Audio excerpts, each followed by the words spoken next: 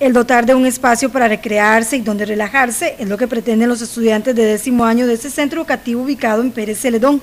Los alumnos, en coordinación con un profesor de artes industriales, están llevando a cabo como proyecto comunal la construcción de un lago artificial y así convertir un terreno de la misma institución en un parquecito donde puedan estar.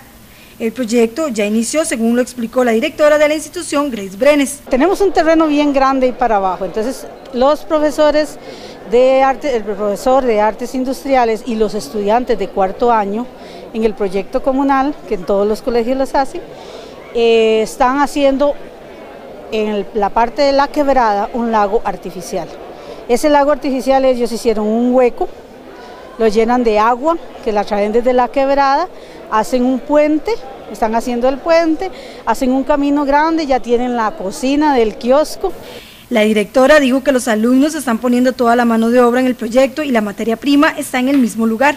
Los trabajos continúan y se espera ya el próximo año quede finalizado. La materia prima se agarra de la tierra. Todas las piedras, todas las cosas las jalan ellos y hacen los caminos de piedra con arena, es decir, se está utilizando la naturaleza misma. ¿Y para cuándo esperan tener listo ese proyecto?